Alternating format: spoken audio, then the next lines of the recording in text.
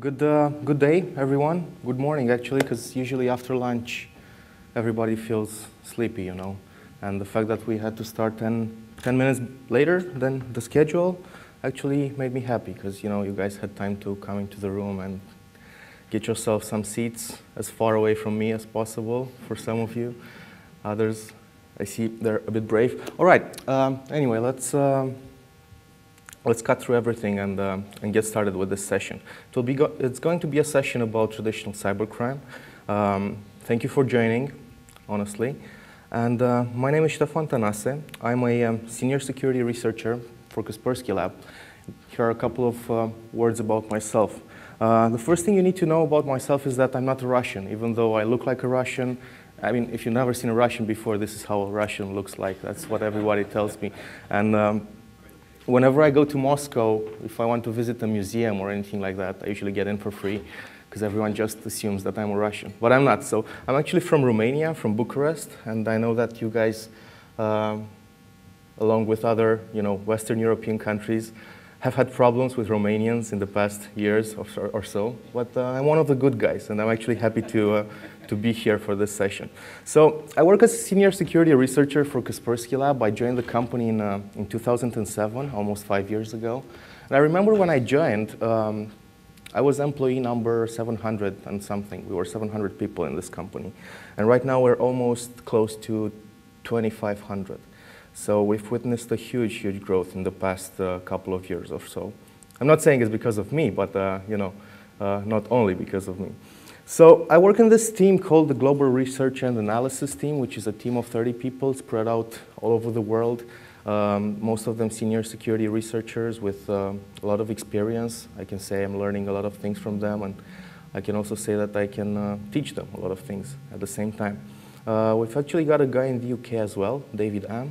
Maybe you guys uh, know him from, uh, from other conferences.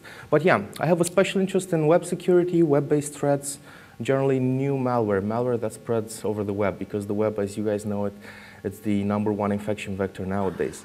And um, I joined the company with a background in web development. I used to do a lot of web development be before joining uh, Kaspersky Lab. So um, when I joined, you know, I got involved in many interesting research projects like developing honeypots, working with uh, huge databases of malware, um, doing distributed computing projects, and uh, generally, you know, artificial intelligence-like systems that can basically automate the, uh, the tasks that we do every day around here.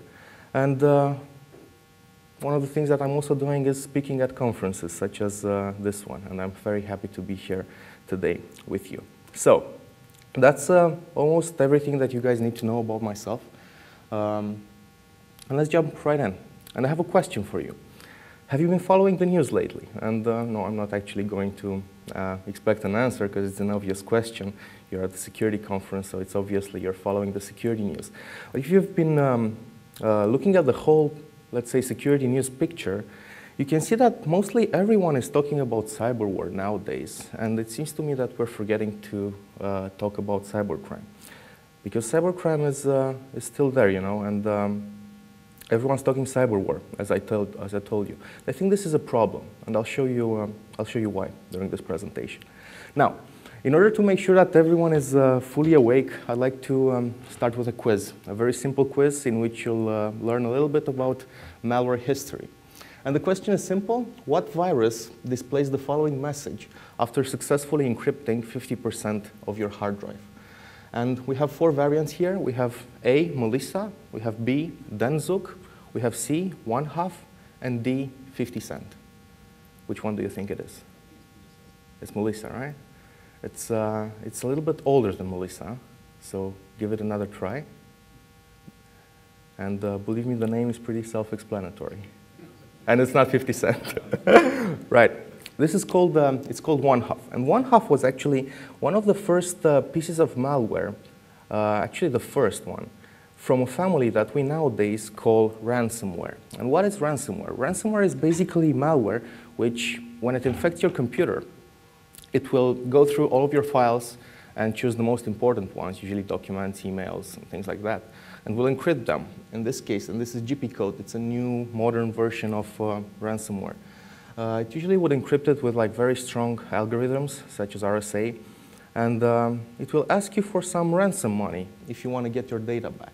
You can see in this specific example, the uh, author asks for um, $125 payment via Ukash or PSC, that's a PaySafe card. These are two types of prepaid cards. So basically, anonymous payments. You know, you get the card from any shop, and you you get a number, and then you you send it to the author, and he can cash it in.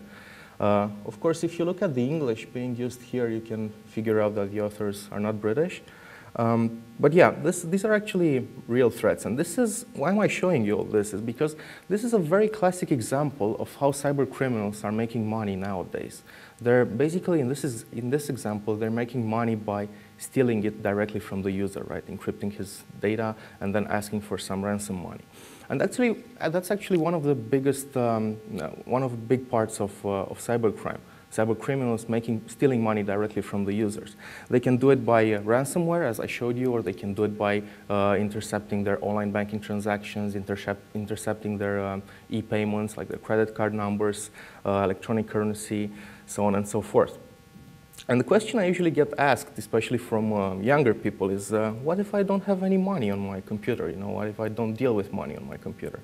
And the answer is pretty simple. Then your computer is still valuable, actually very valuable to cyber criminals for a very, very simple reason. As long as your computer will have uh, a CPU, some memory, and most importantly, internet bandwidth, cyber criminals will be able to use that computer's resources to provide services to other cyber criminals. We call this market the C2C market. We have the B2B, the business to business, business market, B2C, business to customer. We call it C2C, as in cyber criminal to cyber criminal. And these are usually those uh, malwares that uh, you see sending spam or launching DDoS attacks or doing pay-per-click fraud, basically trying to get to squeeze money out of that infection, to monetize that infection um, without stealing money directly from the user. Because guess what? Most of the times, the users actually don't deal with money on their computers. So that's the two main ways through which cyber criminals generate revenue from uh, infecting computers. Now, maybe some of you were wondering what's up with that huge sigma sign on the right side of the screen. It's actually not a huge sigma sign, it's a huge M, and it's a huge M which stands for malware. And it's so huge because malware itself is very huge nowadays. And um, in order for you to um, realize how huge malware is, I'm not going to show you charts or anything like that, uh, but I'm going to ask you to come back to one half. And as you maybe noticed in the screenshot, one half is not a very new virus, you know. It was running in, in DOS. And um, the year when one half, one half appeared was 1994. And 1994 was a year when we can roughly say that we've had one new virus appearing every hour.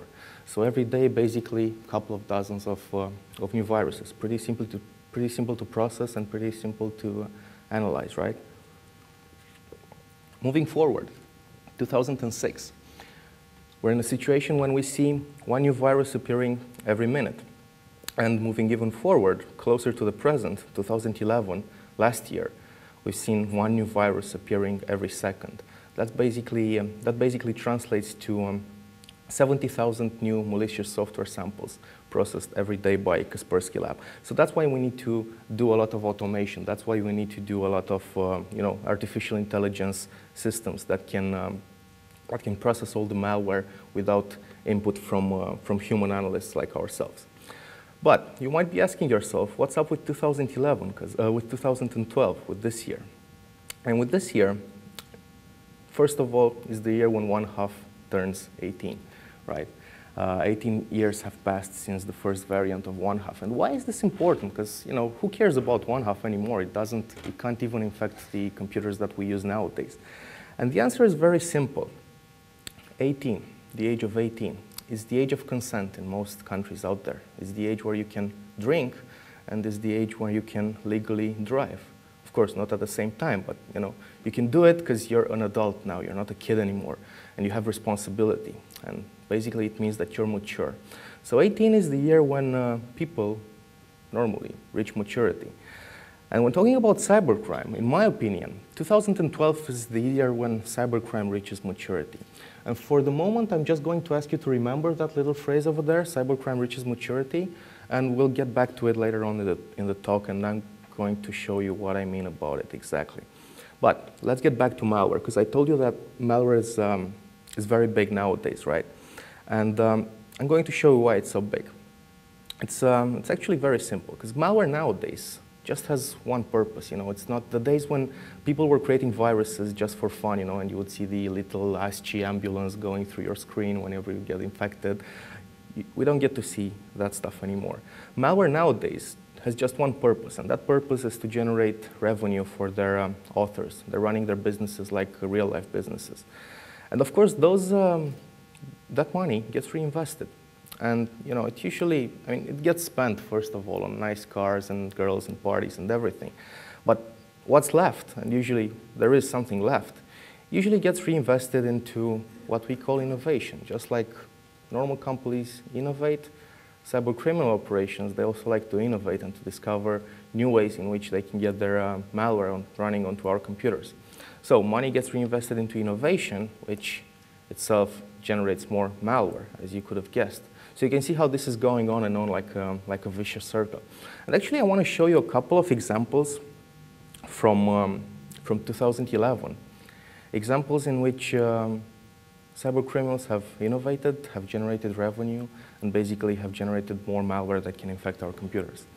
And the first example is uh, the fake antivirus businesses, because the fake antivirus business witnessed a huge boom in 2010 and 2011, uh, in 2010 actually. And 2011 was the year when we saw the fake AV business stabilizing. It's not, um, you know, it's not gone away. There are still people who are falling for these tricks, but um, mostly it's not at the levels at which it used to be. It's like basically at 20% of the, of the level uh, in 2010. Um, so yeah, fake antivirus, it was a huge, uh, you know, it was a huge innovation from, uh, from the cyber criminal side because they were able to, to get money by, um, let's say, mimicking the business models of uh, real antivirus companies, but without, you know, without providing any type of, uh, any type of protection. It was just a scam. And while some areas of cybercrime are going down, Others are, of course, going up because cybercrime itself is going uh, up as a whole. So 2011 was the year when we've seen the first IRC bot and the first Zeus variant for Android mobile phones. And actually 2011, and again, I'm not going to bore you with any, with any charts here, but 2011 was clearly the year of uh, mobile malware because just in December 2011, we've processed more mobile malware variants than in all the previous years since 2004. So mobile malware has witnessed a huge, huge growth. And the reason is basically pretty simple, you know. Up until uh, now, basically, there was no operating system which you could say is uh, dominant on the market, you know. But now with the Android phones, which mostly everybody uses, it's very easy for cyber criminals to create malware and to, to make sure that malware is going to run on all these, uh, all these systems. So um, what about the PCs? And I'm sure that some of you might have heard of TDSS, which is the most sophisticated rootkit out there right now. And 2011 was the moment when TDSS started mining bitcoins. I mean, this is, you know, it's a very, very sophisticated rootkit which infected hundreds of thousands of computers all over the world. And at one point, the authors decided it would be a very nice monetization tactic to start mining bitcoins. Now, for those of you who don't know what Bitcoin is, uh, bitcoins are basically um, virtual currency, but it's a cryptographic currency. So in order to generate it, you must use computing power to solve very complicated mathematical equations and thus generate those bitcoins. So you can imagine with a huge botnet of hundreds of thousands of computers, uh, you can get quite a lot of revenue. Uh, the most important thing being that Bitcoin is fully anonymous. It's fully, uh, you know, the transactions are, uh, are basically private over there. So that's how, you know, that's how they, they make money. They can make money directly or they, make, they can make money indirectly, as I showed you. Um, and they make a lot of money. This is actually, uh, these are actually two screenshots from a mobile malware investigation that we did last year, which was showing um, how much money a gang that was distributing uh, an SMS Trojan was making. And you can see the amounts are pretty stagger staggering. $2,000 in five days, $5,000 in five days. That's a working week. I hope you guys earn more than that, you know, but most of the people, they can't earn that much, you know, doing legal things. But yeah, mobile malware quite a huge growth. And they usually make the money by, um, uh, sorry, I'm going to show you a bit, a bit later how they make the money.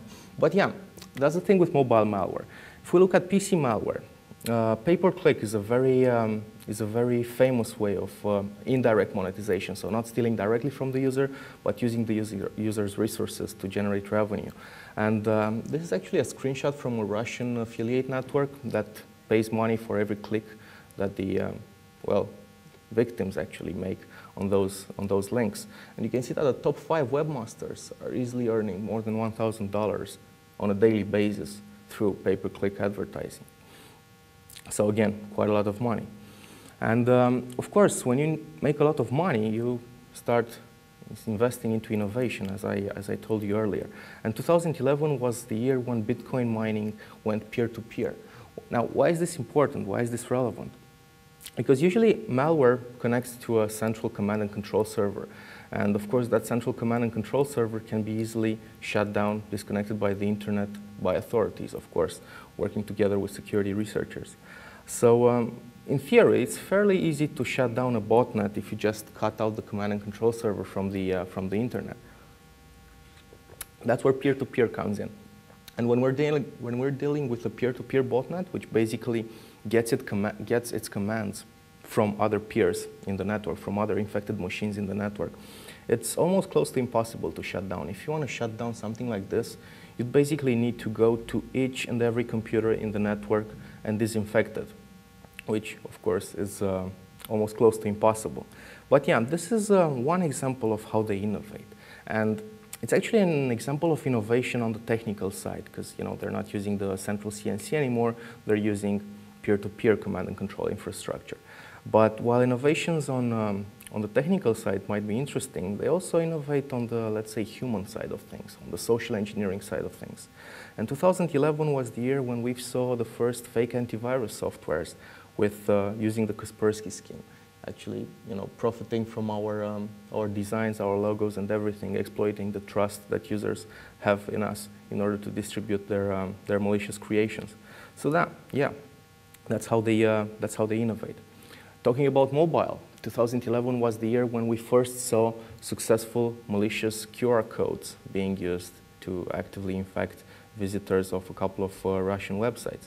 And they were actually distributing mobile malware through the QR code, making it much easier for, uh, for users to get infected. You know, they don't have to download, type up URLs on their mobile phones. They can just take a picture. And you can imagine the implications of these attacks whenever you ride the subway, for example, and you see so many QR codes, um, so many QR codes over there. It's so easy for anyone to just, you know, stick a different QR code on top of a QR code that's on an advertisement, and then people would just blindly scan it and open it with, um, with their mobile phones. And you've seen me talking about mobile malware quite a lot, and maybe you're asking yourself, how do cyber criminals make money through mobile malware? And the most common way is uh, SMS Trojans. These are basically Trojans that once they get onto your phone, they will start sending SMS messages from time to time to premium rate numbers. Now, why is this interesting? It's interesting because up until 2011, because SMS Trojans were not invented in 2011. But up until 2011, it was a very localized problem. It was just a problem in countries like Russia or a couple of uh, Southeast Asian countries. Usually, where it would be, a, because of a mix of legislation, it would be very easy for cyber criminal gangs to get their hands onto these short numbers with, um, uh, with premium rates, basically, on them. And 2011 was the year when we saw criminals starting uh, distributing SMS Trojans that had embedded inside numbers, short numbers for premium payments for basically almost all countries in, uh, in the world, you know, starting from United States and Canada to almost every, every European country that's out there. So it's not a local threat anymore, it's becoming a global threat. So that's how they innovate, that's how they make money, and that's how they generate malware. And this is basically the vicious circle I was, I was telling you about, the one that's really, really hard to stop. And um, now, for the, uh, let's say, interesting part, or at least my favorite part of the talk, which is the fact that cybercrime reaches maturity. And this is actually the tagline that you need to take out of this entire presentation. Cybercrime reaches maturity. And I promised you that I'm going to show you what exactly do I mean about that. So we're in 2012 right now. In 2012, except for being the year when one half turns 18, it's a year in which we can say that there are more cyber criminals than ever who have been um, running businesses for more than 10 years.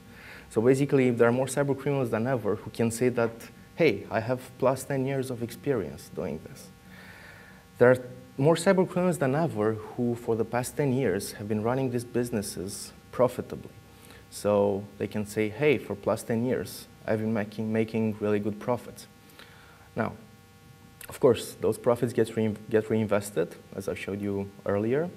But the reality is that we're starting to see exit strategies appearing in their businesses. Now, what do I mean about this? I'm talking about, let's say, cyber criminal gang that invests half a million dollars into a club or a bar or a pub or whatever. Generally, real life businesses, legal businesses, uh, which at one point can turn into actual exit strategies. Let me give you a couple of examples. This is the part with the pictures, the part which everyone enjoys the most. So if you've been sleeping, please um, wake up right now and tell me if you can recognize this very nice house. Anyone? Not really, yeah. It's, uh, it's definitely bigger than the apartments that I've seen around here. But um, in case you don't recognize it, I'm going to give you a hint. This guy lives over there. Yeah, he's guilty for that. Um, he's the founder of uh, megaupload.com. I'm sure you might have heard of him. He was arrested earlier this year. Now he's, uh, he was released on bail last week, I think. Um, but yeah, I'm talking here about Kim Dotcom, Kim Schmitz, Kimble, Kim Tim Vester. You might know him by a lot of names. And um, it's actually a pretty interesting guy, you know. He's, uh, he's definitely living the life. He's actually larger than life. At least that's his personal motto, let's say, his personal uh, tagline. But, well, many people know that he was arrested at the beginning of the year for piracy, basically. Many people don't know that this is actually the third time he got arrested. And this guy has a long, um, let's say, career both with uh, police and both with uh, internet businesses. Because in 1998, he was arrested for the first time for trading and, check this out, calling card numbers which he acquired for hacker, from hackers in the United States. Now, probably, you know, credit cards and online shopping were definitely not that popular back then.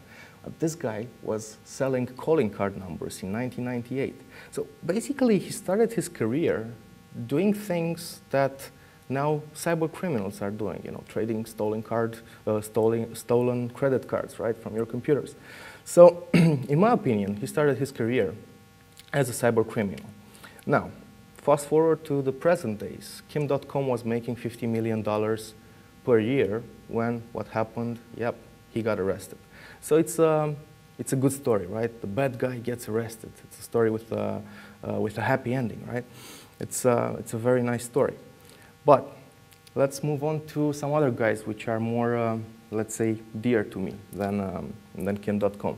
And if some of you might have recognized Kim Dotcom when you saw the picture of him, I'm sure that you can't recognize this guy. Although I'm sure you can recognize what's on the desk behind him, and I'm not talking about the computer screen, right?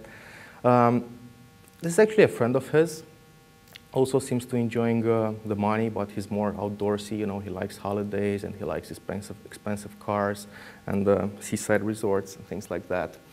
Um, also, a friend of theirs. This was actually the um, the head of the gang, the technical head of the gang. Um, I'm sure you don't recognize them, but I can tell you how much money these guys were making. They were making 1.7 million dollars in just nine months. How do we know this? I'm talking here about the, um, the Koobface gang. And if you haven't heard of Koobface, long story short, Koobface is basically the first Web 2.0 worm. It's the first worm that used social networking websites to spread itself from one profile to the other.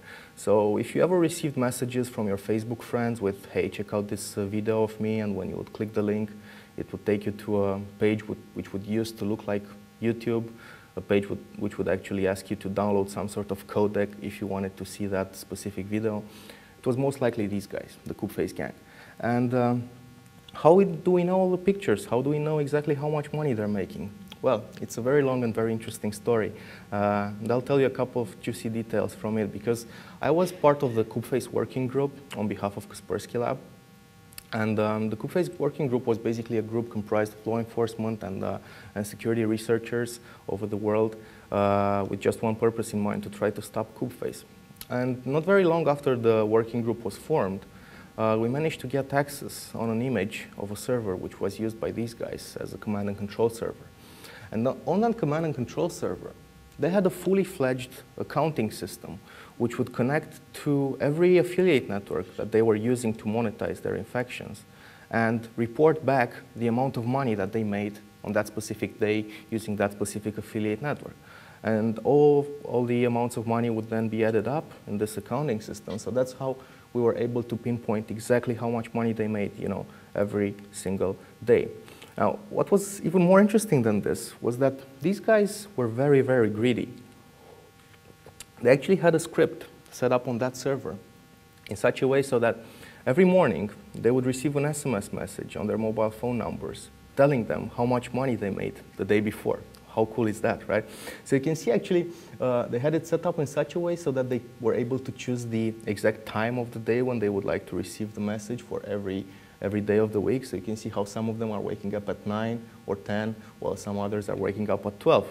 So it's uh, definitely a nice, um, a nice way of life. And, um, you know, they were making quite a lot of money, more than $2 million every year.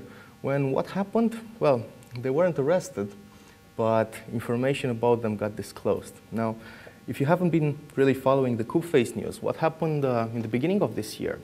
Facebook decided to finally release, publicly release, all the information about the, uh, the people behind it.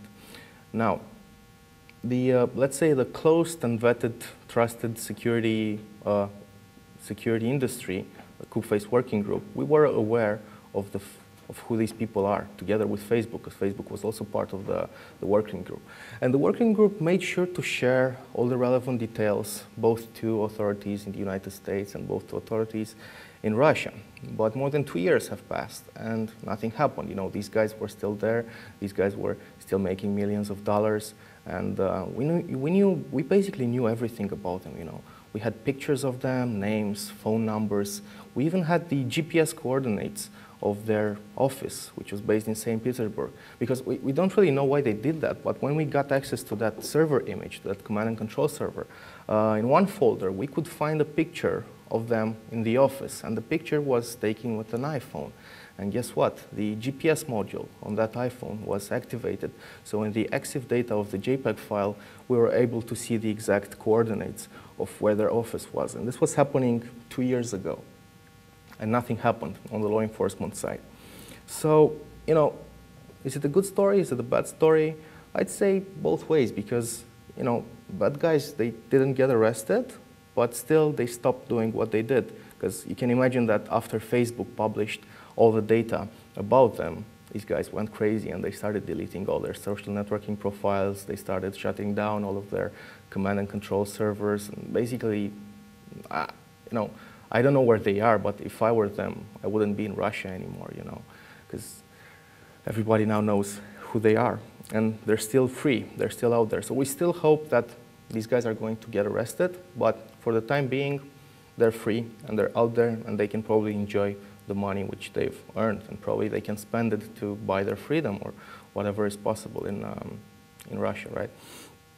Now, if some of you recognize Kim Dotcom, mostly no one recognized the Koobface gang. I'm 100% sure that nobody here, except myself, is going to recognize this website. Now, this website is called Vplay, and currently it's, um, it's one of the top 10 websites in Romania. It's a very nice website. You, know, you can actually, you, you can literally watch every episode of every season of every TV show that was ever created in the world, you know. Uh, they're all categorized. They all have really nice uh, subtitles. They even have subtitles which are better than the subtitles that we get on TV, which is, um, which is pretty cool. So that's how the website became really popular. Now, what's the catch, you might ask? Of course, it's not a legal website. It's, um, they basically get their content from, um, uh, from public sources, from torrents mostly, And uh, of course, they don't pay any royalties to the uh, copyright owners of these, um, of these creations. So based on the traffic data and based on how many views each episode has and how many comments are posted to each episode, which usually, you know, when talking about shows like The Big Bang Theory, for example, or Two and a Half Men, you usually have thousands of comments being posted at every episode. We're easily estimating that these guys were making around half a million dollars per year through SMS payments. When guess what happened? They didn't get arrested, they didn't get disclosed, they just decided to stop. Well, they didn't stop the website. Uh, the website is still there, but they moved the server. The server is not in Romania anymore. Also, they stopped uh, charging money um, for viewing these things. So basically, in my opinion, I think they just left the website out there. But they went away. They're not, uh, you know, actively taking care of the website anymore. Now, what does this mean for us, and how does this change what we do? Because I told you these three stories, the story about Kim Dotcom, the story about Koobface, and the story about Vplay for a reason, which is, you have to ask yourself a very simple question, which is, what do all cyber criminals that were caught have in common? And the answer is um, not that hard to guess. They usually went too far for too long, right? And I'm asking myself, what if Kim Dotcom or the Koobface gang would have stopped before getting caught? And that's exactly what Vplay did. That's, uh, you know, they decided to stop before getting caught. And in my opinion, probably Vplay will never have to pay consequences, to pay for the consequences for the facts that they, um, that they did. You know, they will never have to face legal consequences for that. So the conclusion here is that as a cyber criminal, the longer you stay in business, the um, bigger the chance of you getting caught. So what we're seeing is cyber criminals, which are basically creating and implementing exit strategies. We know for sure that the Koobface gang have bought a club in St. Petersburg. Uh, they were always posting pictures from them there. They're mostly uh, all of the time spending time over there. So that was a real exit strategy for them. They were still doing the cybercrime stuff, of course, because it would probably earn them much more money than the club. But the club was there. So what we're seeing is cyber criminals implementing exit strategies. Some of them are forced to do so. Some, some of them choose to do so by themselves. But the idea here is that if they don't get caught uh, before they quit, they will most likely never get caught. And that's, I think, a very interesting thing. Now, a couple of, um, a couple of conclusions. The main idea of this presentation is that cybercrime reaches maturity. That was the main message that I wanted to, to send you. And uh, this basically means that they're both optimizing and consolidating their businesses, uh, both from a financial perspective, a technical perspective, but also from a legal perspective. We're starting to see cybercrime actors retiring from what they do.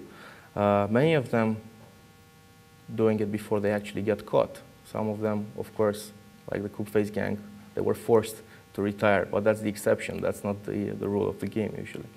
So what I think we need is uh, faster investigations here because, you know, everyone knew who these people were ever since more than two years ago, but nothing happened. So the law enforcement processes are very, very slow, especially for uh, a world which is changing as fast as the internet is doing nowadays. So we basically need faster investigations, and this can only be achieved through collaboration. And of course, we need better cybercrime laws, laws that can allow us to act quicker and, of course, not cause any problems to internet citizens' privacy level because uh, that's a very sensitive topic right now. So I'm not, uh, I'm not supporting privacy invasion or anything like that, but I just think we need really good laws that can help us fight cybercrime because in most of the countries, cybercrime is being dealt with with laws which are 20 years, if you're lucky, 20 years old. In Brazil, for example, our colleague from Brazil was telling us that uh, the laws which they're using to prosecute cyber criminals are from the 50s. So that's, uh, that's insane, right? And you know, I actually asked myself, maybe it's time to start rebuilding the internet from scratch because the way the internet is right now, it's definitely, uh, definitely wasn't created with the idea that people will do bad things on it. So probably need to change that, but it's, uh, uh, of course, it's more like an utopia. It's not a real thing. Main idea is that cybercrime can't be ignored. And if you remember in the beginning of the presentation, I was telling you about cyber war and the fact that people seem to talk more about cyber war right now and not about cybercrime. And I'm going to show you why cybercrime can't be ignored. And it's a very, very simple point, and it will be the last point I'm trying to make here. Now, think of the fact that an average botnet has tens of thousands of computers in it, which are controlled by a guy somewhere in China or Russia or whatever. Um, you can imagine that there's a huge amount of information being stored on those machines. And these botnets are mostly used in traditional cybercrime operations, you know, like launching DDoS attacks or sending spam or, uh, I don't know, intercepting credit card numbers. So most of them stay under the radar. But what most people don't seem to realize is that every piece of malware that's out there today has some sort of, let's say, updating mechanism through which a new variant can be pushed to the users. So if a computer, which is right now infected with a Trojan that just sends spam emails, uh, that computer, that, that, that spam spending, uh, sending Trojan can basically be changed at any moment with just a click of a button into a Trojan that's meant to spy on that user's activity or to, uh, you know, modify his documents or to spy on his, his, um, his activities at his company or where he's working. So the main idea is that cybercrime can be turned into cyber war with just the click of the button. And that's why I think that cybercrime shouldn't really be ignored. So thank you very much for uh, paying attention. And uh, that's my contact data. If you guys have any questions or anything, I'd be happy to answer. Uh, thank you very much once again.